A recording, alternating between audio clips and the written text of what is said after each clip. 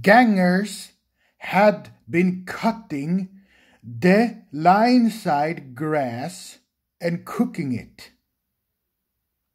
The fat controller sells the hay to hill farmers who want winter feed for their stock. At this time of year, when Percy comes back from the harbour, he stops where they have been cutting. The men load up his empty wagons and he pulls them to Farquhar. Toby then takes them to the hill where the farmers collect the hay from Toby's top station. When the wagons, the hay is covered to prevent the wind from blowing it about.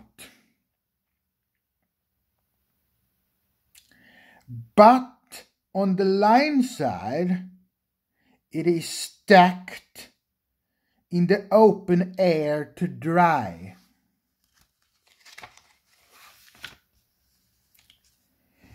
Wheeze! Percy gave his ghostly whistle. Don't be frightened, Thomas. It's just me, he laughed. Your ugly fuss is enough to frighten anyone, said Thomas crossly. You're like ugly indeed. I'm a green caterpillar with red stripes, continued Thomas firmly. You crawl like one too. Well, I don't. You who's have who has been late every afternoon this week? It's the hay. I can't help that, said Thomas. Time is time, and the fat controller expects me to keep it. I can't if you crawl around in hay until all hours. Green caterpillar indeed, fumed Percy. Everyone says I'm handsome. Well, at least nearly everyone. Anyways, my curves are better than Thomas's corners. He took his trucks to the harbour and spent the morning shunting. Thomas says I'm always late, he grumbled. I'm never late. At least only by a few minutes. What's that to Thomas? He can always catch up time further on. All the same, he and his driver decided to start early home. It was most unfortunate that just before they did, a crate of treacle was upset over him.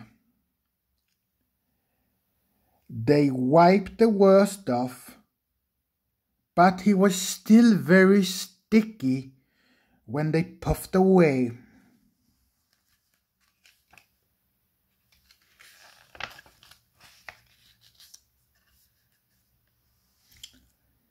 The wind rose as they puffed along. Soon it was blowing a gale.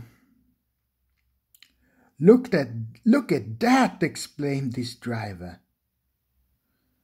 The wind caught a pile of hay, tossing it up over the track. The gangers tried to clear it but more always came.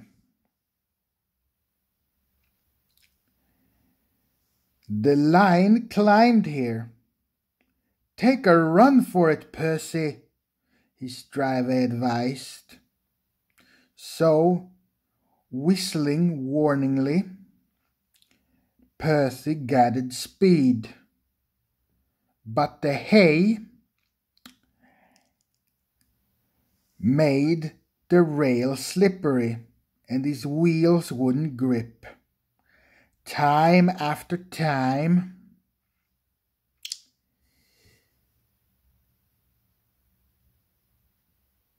he stalled with spinning wheels, and he had to wait until the line ahead was clear before he could start again.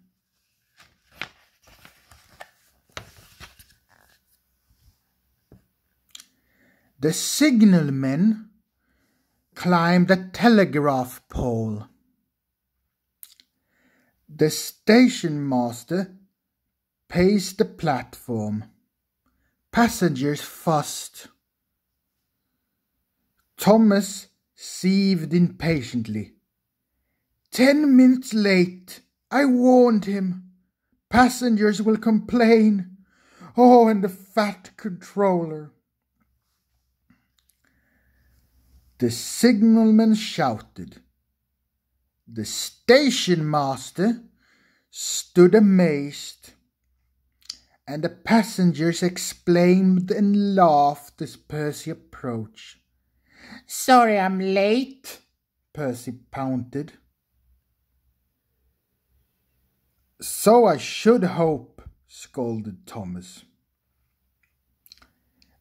But he spoiled the effect as Percy drew alongside. Look what's crawled out of the hay, he laughed. What's wrong? Talk about hairy caterpillars, puffed Thomas as he started away.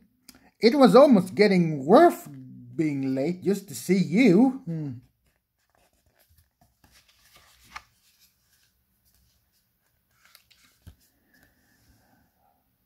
When they got home, Percy's driver showed him what he looked like in a mirror.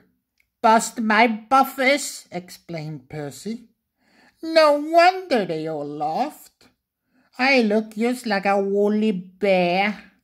Please clean me before Toby sees me. But it was no good. Thomas had told Toby all about it and instead of talking about sensible things like ghosts, Thomas and Toby instead made jokes about woolly bears, caterpillars, and other creatures who like to crawl around in hay. They all thought this was very interesting, but Percy just thought they were being very silly.